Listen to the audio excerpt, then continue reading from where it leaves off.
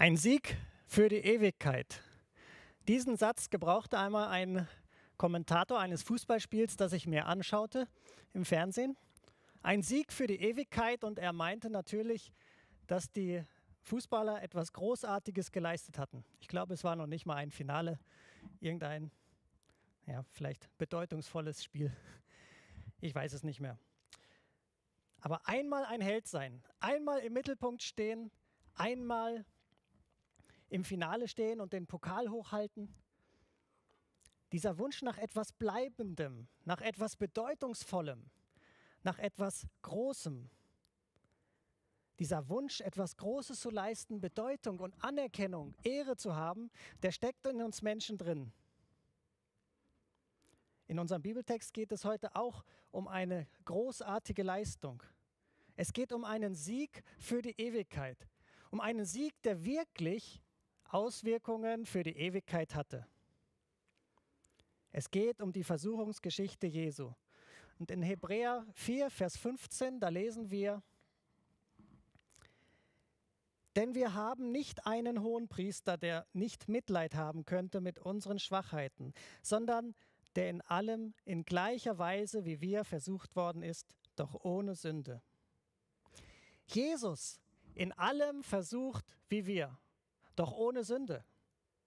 Das sehen wir in unserem Text heute. Es stand viel auf dem Spiel, sehr viel. Nicht weniger als die Rettung der gesamten Menschheit. Aber Jesus blieb der Sieger. Ein Sieg für die Ewigkeit. Schauen wir uns den Text an. Matthäus 4, 1 bis 11. Ich lese aus der Elberfelder Bibel. Dann wurde Jesus von dem Geist in die Wüste hinaufgeführt, um von dem Teufel versucht zu werden. Und als er 40 Tage und 40 Nächte gefastet hatte, hungerte ihn schließlich.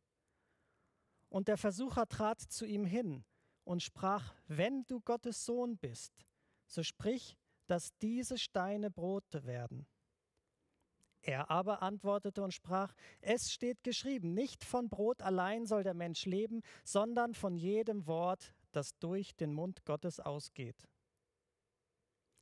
Darauf nimmt der Teufel ihn mit in die heilige Stadt und stellt ihn auf die Zinne des Tempels und spricht zu ihm, wenn du Gottes Sohn bist, so wirf dich hinab, denn es steht geschrieben, er wird seinen Engeln über dir befehlen und sie werden dich auf den Händen tragen, damit du nicht etwa deinen Fuß an einen Stein stößt.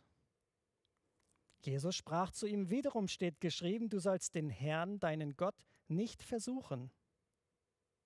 Wiederum nimmt der Teufel ihn mit auf einen sehr hohen Berg und zeigt ihm alle Reiche der Welt und ihre Herrlichkeit. Und spricht zu ihm, dies alles will ich dir geben, wenn du niederfallen und mich anbeten willst. Da sprach Jesus zu ihm, Geh hinweg, Satan, denn es steht geschrieben, du sollst den Herrn, deinen Gott, anbeten und ihm allein dienen. Dann verlässt ihn der Teufel und siehe, Engel kamen herzu und dienten ihm. Aus unserem Bibeltext können wir heute drei wichtige Punkte mitnehmen. Erstens, lass Jesus dein Handeln bestimmen. Zweitens, lass Jesus deine Gefühle bestimmen. Und drittens, lass Jesus deine Wünsche bestimmen. Erstens, lass Jesus dein Handeln bestimmen.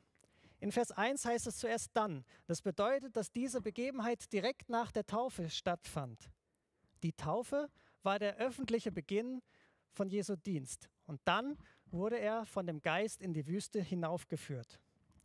Die Wüste, ein Ort der Stille, oft auch ein Ort der Vorbereitung. Ich komme nachher noch mal kurz darauf zurück. Mit Geist ist hier der Heilige Geist gemeint. Der Heilige Geist führte Jesus, nachdem er nach der Taufe auf Jesus gekommen war, in die Wüste. Das heißt, es geschah nicht zufällig, dieser Gang in die Wüste. Er verfolgte einen bestimmten Zweck, um von dem Teufel versucht zu werden.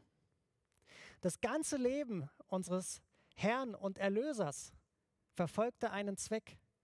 Jeder Tag, jede Sekunde waren nicht zwecklos, sie waren ausgerichtet auf ein Ziel, ausgerichtet auf Kreuz und Auferstehung, auf seinen großen Auftrag. Aber warum sollte er vom Teufel versucht werden? Gott wollte beweisen, dass Jesus würdig ist, dass Jesus allein würdig ist, der Retter der Menschheit zu sein und zu werden.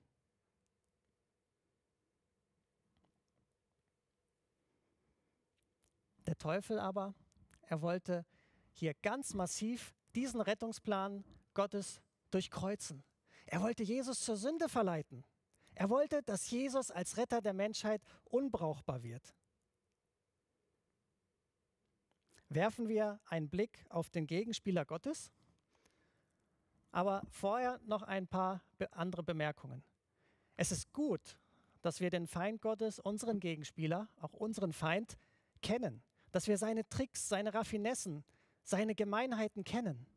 Aber viel, viel wichtiger ist es, dass wir unseren Herrn und Erlöser, nämlich Jesus, kennen, den Sieger. Das ist das Entscheidende. Und Jesus macht uns hier in der Geschichte auch noch auf etwas anderes aufmerksam, was wir auch unbedingt kennen sollen, gerade in Versuchungssituationen, nämlich Gottes Wort. Am besten auswendig. Was erfahren wir nun über den Feind Gottes? In unserem Text werden drei verschiedene Ausdrücke für den Teufel gebraucht. Erstens Teufel, das wird viermal, dieses Wort wird viermal verwendet. Griechisch Diabolos, es meint Verleumder, Ankläger und zwar immer mit böser Absicht. Jemand, der ohne Grund entzweit auseinanderbringt. Zweitens, in Vers 3 wird das Wort Versucher gemeint, genannt. Jemand, der absichtlich jemanden zur Sünde verleiten will. Drittens, in Vers 10 nennt Jesus den Teufel Satan. Das bedeutet Widersacher, Gegner. Der Teufel ist keine Witzfigur, keine Figur mit langem Schwanz und Hörnern, so wie er oft dargestellt wird, verharmlosend, verniedlichend, als ob man ihn in der Tasche hätte und bestimmen könnte oder es ihn überhaupt nicht gibt natürlich. Jesus wurde also vom Geist Gottes in die Wüste geführt, um seinem Hauptgegner, seinem Feind zu begegnen, dem Teufel, dem personifizierten Bösen. In Vers 2 erfahren wir dann, dass Jesus 40 Tage und 40 Nächte gefastet hatte. Und das Fasten, das war immer begleitet mit intensivem Gebet. Jesus bereitete sich also vor mit Gebet, mit Fasten. Er bereitete sich vor auf seinen wichtigen Auftrag. Und nach diesen Tagen hatte Jesus Hunger. Wir sehen hier die menschliche Seite Jesu. Die Zahl 40 hat in der Bibel übrigens eine sehr große Bedeutung. Es, die Zahl 40 kommt sehr, sehr oft vor. Ähm, ich möchte nur auf drei Parallelen kurz eingehen. Das Volk Israel war 40 Jahre lang in der Wüste, eine Vorbereitung auf den Einzug in das gelobte Land, natürlich auch eine Strafe Gottes. Mose lebte 40 Jahre in der Wüste, dann bekam er von Gott den Auftrag, führe mein Volk aus Ägypten. Mose fastete 40 Tage in der Wüste, nicht 40 Jahre. Und dann empfing er das Gesetz Gottes, also immer wieder Vorbereitungszeit. Jesus war durch diese intensive Fastenzeit sehr geschwächt. Er hatte Hunger. Und genau in dieser Situation, da griff der Feind an. Er wollte diese körperliche Schwäche Jesu ausnutzen. Die ersten beiden Versuchungen fangen an mit, wenn du Gottes Sohn bist. Der Teufel wusste natürlich, wer Jesus war. Er wollte eigentlich sagen, weil du Gottes Sohn bist. Weil du Gottes Sohn bist, sprich doch, dass diese Steine zu Brot werden. Der Allmächtige Schöpfer des Universums, Jesus, der das ganze Universum durch sein Wort geschaffen hat. Für ihn wäre es doch nur eine Kleinigkeit gewesen, diese paar Steine zu Brot zu machen. Du hast doch viele Möglichkeiten als Gottes Sohn. Gottes Sohn muss nicht hungern. Gottes Sohn kann doch mal ebenso ein paar Steine zu Brot machen. Ist es falsch, wenn wir für uns um Essen kümmern, wenn wir Hunger haben? Nein, natürlich nicht. Aber dieses Wunder war nicht im Willen des Vaters. Jesus hatte eine innige Liebesbeziehung zum Vater. Er wollte immer nur in jedem Augenblick die Werke, die Taten tun, die der Vater vorbereitet hatte.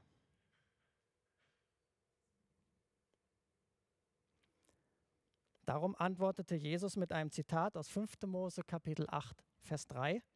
Es steht geschrieben, nicht von Brot allein soll der Mensch leben, sondern von jedem Wort, das durch den Mund Gottes geht.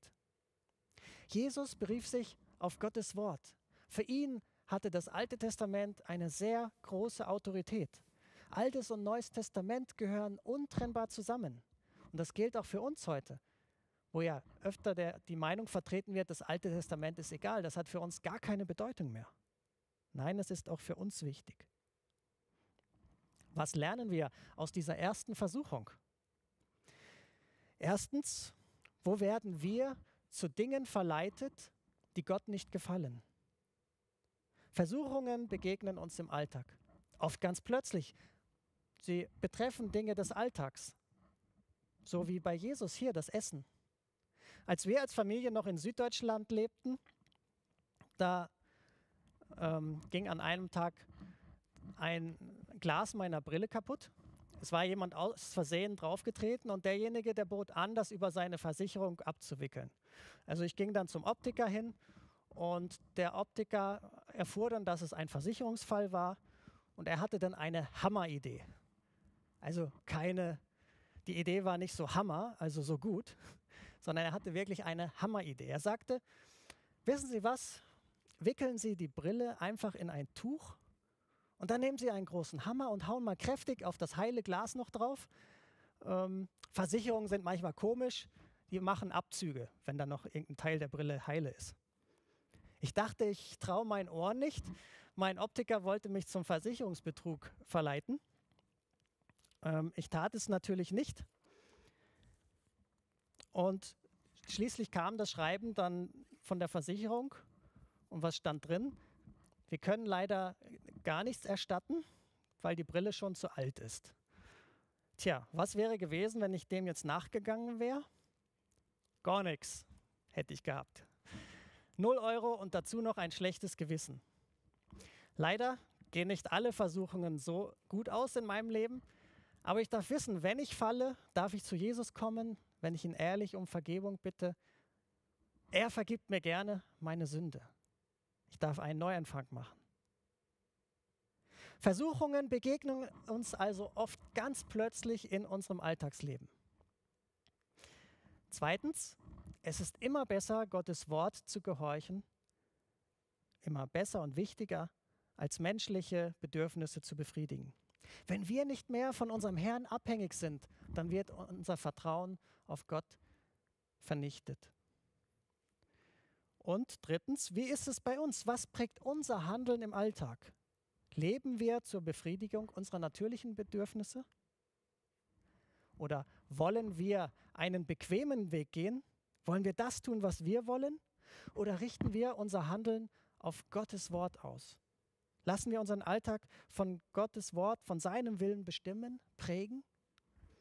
Oder drehen sich unsere Gedanken um das, was wir tun wollen? Wollen wir unser Himmelreich, unser Königreich sozusagen hier auf Erden bauen. Lass Jesus dein Handeln bestimmen. Zweitens, lass Jesus deine Gefühle bestimmen. Der Teufel gab sich mit seiner ersten Niederlage nicht zufrieden. Er setzte nach. Jesus hatte bei der ersten Versuchung Gottes Wort gebraucht. Und genau das tat jetzt der Teufel auch. Er ahmt nach. Er will Gott immer nachahmen. Er benutzte Gottes Wort, aber er missbrauchte es. Wir sehen hier, wie sich der Teufel verstellte. Irgendwie hat er auf einmal einen ganz heiligen Wortschatz. Er nimmt Jesus mit in die heilige Stadt. Er, der Tempel spielt eine Rolle. Jesus, äh, nee, der Teufel spricht von, von Gott und von den Engeln. Der Teufel gebraucht ein Zitat aus dem Alten Testament, Psalm 91. Wir sehen hier also, wie dass der Teufel sich verstellte. Und in 2. Korinther 11, Vers 14 steht, und kein Wunder, denn der Satan selbst nimmt die Gestalt eines Engels des Lichts an. Der Teufel nahm Jesus also mit sich in die heilige Stadt, nach Jerusalem, auf die Zinne des Tempels. Die Zinne war wohl irgendein Dachvorsprung. Genau weiß man das heute nicht mal, auch wenn die Archäologen da immer noch weiter forschen. In Kommentaren stehen ganz unterschiedliche Meinungen. Ist auch egal. Es ging jedenfalls tief runter. Und wieder begann er den Satz mit den Worten, wenn du, also weil du Gottes Sohn bist, dann mach doch das und das. Wenn du Gottes Sohn bist, dann wirf dich hinab, denn es steht geschrieben, er wird seinen Engeln über dir befehlen und sie werden dich auf den Händen tragen, damit du nicht etwa deinen Fuß an einen Stein stößt. Wir können hier mehrere Dinge erkennen. Zuerst haben wir eine sehr starke Parallele zum Kreuz. Da sagen die Vorübergehenden, also die Schaulustigen, wenn du Gottes Sohn bist, so steige doch herab vom Kreuz. Also, wenn du Gottes Sohn bist, so wirf dich hinab. Wenn du Gottes Sohn bist, so steige herab vom Kreuz. Also wirklich, fast wortwörtlich.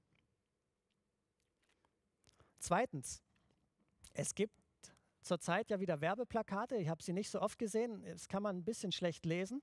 Ich habe ein Foto gemacht. Österreich, glaub an dich. Und bei der zweiten Versuchung war es so, als ob der Teufel Jesus eingeflüstert hätte, glaub an dich, glaub an dich, du bist der Sohn Gottes, dir wird nichts passieren, stürz dich einfach hinab. Jesus sollte sich als der Messias Israels beweisen, mit einem Wunder, mit einer Sensation. Mit einer einzigartigen Show, mit einer Demonstration seiner Macht vor den Augen ungezählter Menschen auf dem Tempelplatz. So sollte er in seinem Tempel erscheinen. Und es gab wohl auch einige Leute in Israel, die das Kommen des Messias so erwartet hatten. Aufgrund von Malachi 3, Vers 1. Da heißt es, und plötzlich kommt zu seinem Tempel der Herr den ihr sucht, und der Engel des Bundes, den ihr herbeiwünscht. Also ein plötzliches Erscheinen des Messias in seinem Tempel. Das hätte ihm grenzenlosen Ruhm eingebracht, seine Herrlichkeit gezeigt. Jesus sollte also öffentlich mit einer Machtdemonstration beweisen, dass er der Messias ist. Aber er hätte Gottes Allmacht missbraucht, die Beziehung zum Vater zerstört, seinen eigenen Willen getan. Es ging also um persönliche Geltungssucht, um den Missbrauch seiner Vollmacht, um Stolz. Letztlich ging es um Stolz. Und drittens erkennen wir hier, auch der Teufel kennt das Wort Gottes, aber er missbraucht es. Er verkürzt Gottes Wort. Er lässt aus. Er verdreht es. Er arbeitet mit Halbwahrheiten. Denn Psalm 91 gilt nur bei unverschuldeter Gefahr nicht wenn es missbraucht wird. Jesus hätte aber Gottes Versprochen missbraucht. Er wäre seinem Vater ungehorsam gewesen. Darum antwortete er wieder mit einer Stelle aus dem fünften Mosebuch, diesmal Kapitel 6, Vers 16. Wiederum steht geschrieben, du sollst den Herrn, deinen Gott, nicht versuchen. Und hier steht im Griechischen für versuchen ein anderes Wort als in Vers 1. Hier meint es mehr auf die Probe stellen, herausfordern. Es ist sehr, sehr gefährlich, den lebendigen, allmächtigen, heiligen Gott herauszufordern. Was lernen wir aus dieser zweiten Versuchung? Erstens, wo sind wir in der Gefahr, Gottes Wort für eigene Zwecke zu missbrauchen?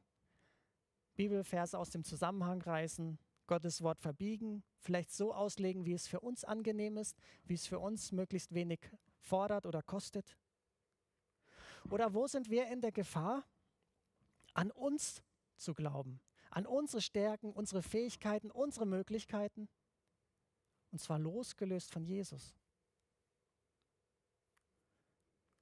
Oder wo lassen wir uns zum Stolz verleiten? Wo bilden wir uns vielleicht darauf etwas ein, dass wir Nachfolger Jesu sind? Wo fühlen wir uns besser, nur weil wir Kinder Gottes sind? Das soll nicht sein. Wo bestimmen falsche Gefühle unser Handeln. Lass Jesus deine Gefühle bestimmen. Drittens, lass Jesus deine Wünsche bestimmen. Auch mit der zweiten Versuchung hatte der Teufel keinen Erfolg. Er war gescheitert und darum versuchte er es ein drittes Mal. Aber dieses Mal war es so, als ob er aufs Ganze ging. Er zeigte sein wahres Gesicht, worum es ihm wirklich ging. Er versuchte alles, ein letzter Schlag. Es war die schlimmste, heftigste Versuchung.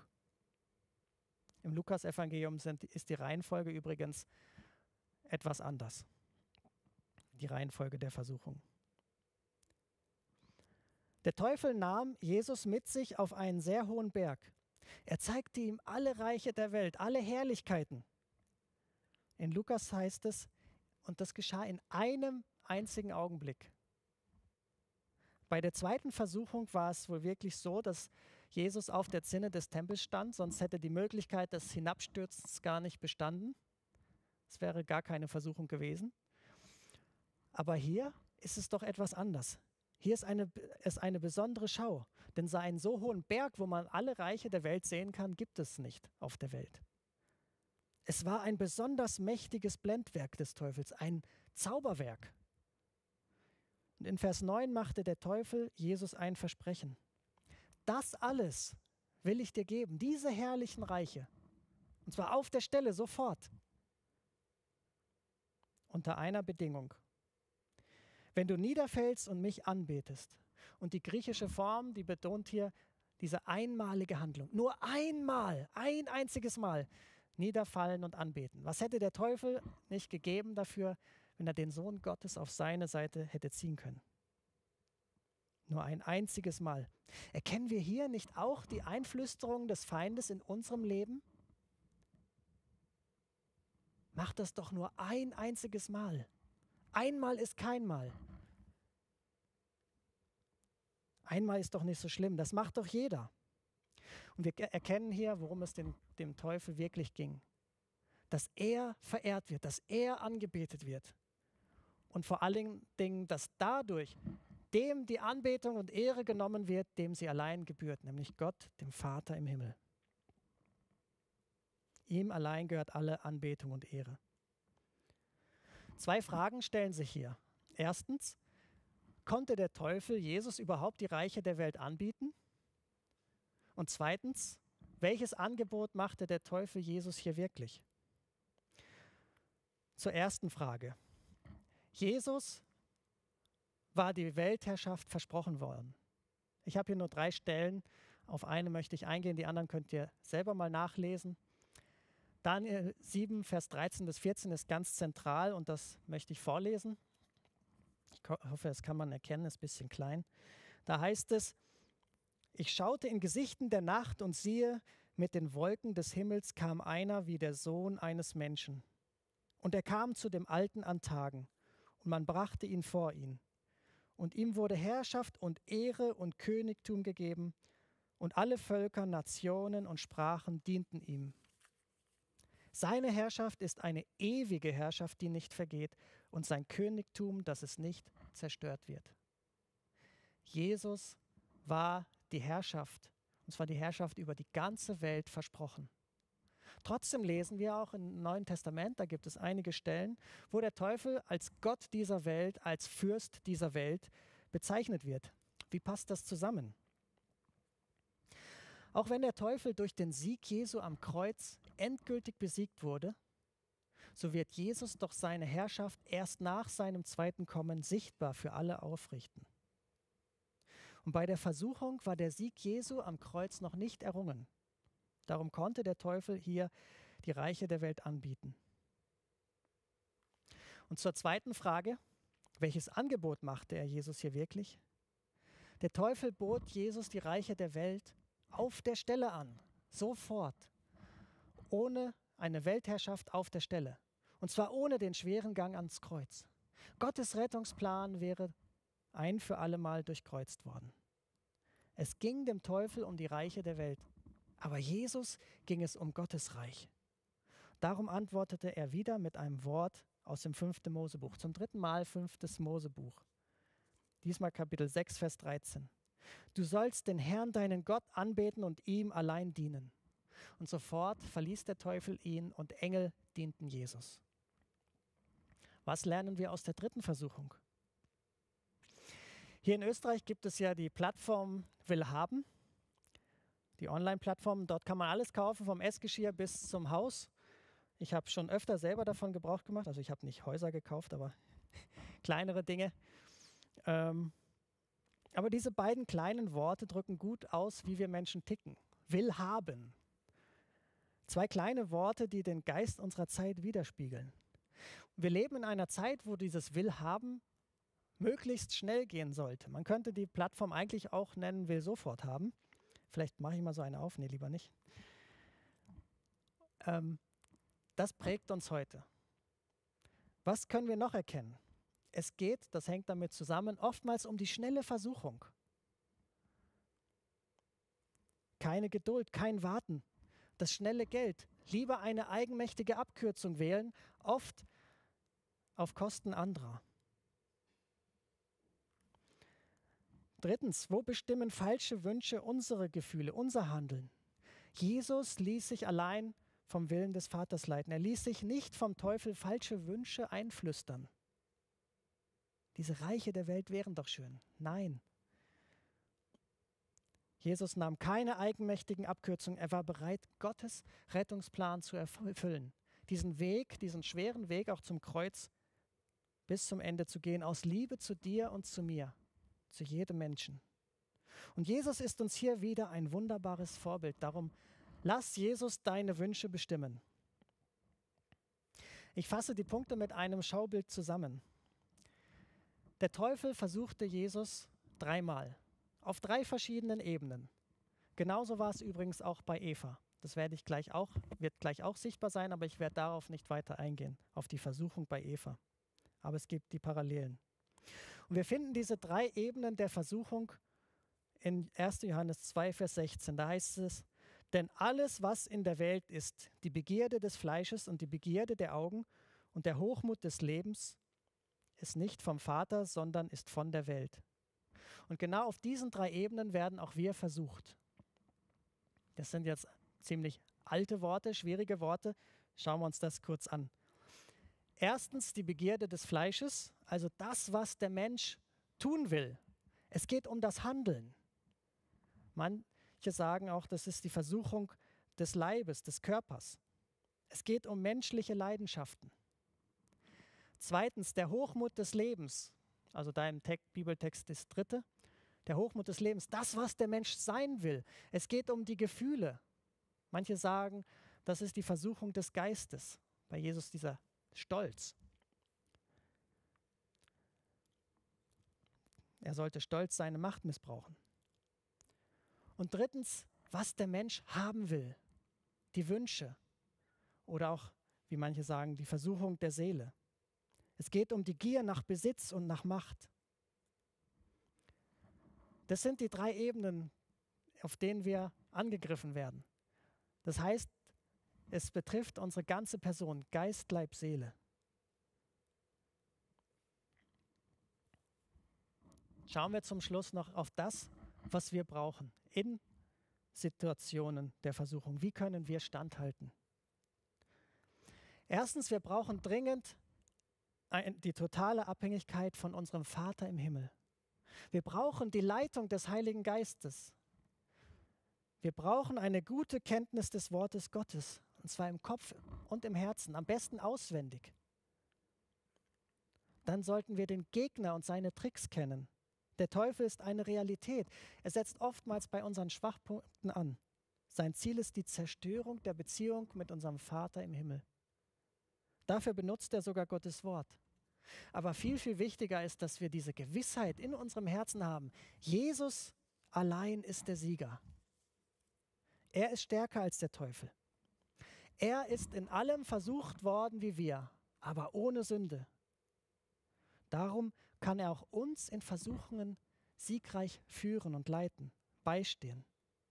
Es gilt für uns also, lass Jesus dein Handeln bestimmen, lass Jesus deine Gefühle bestimmen und lass Jesus deine Wünsche bestimmen.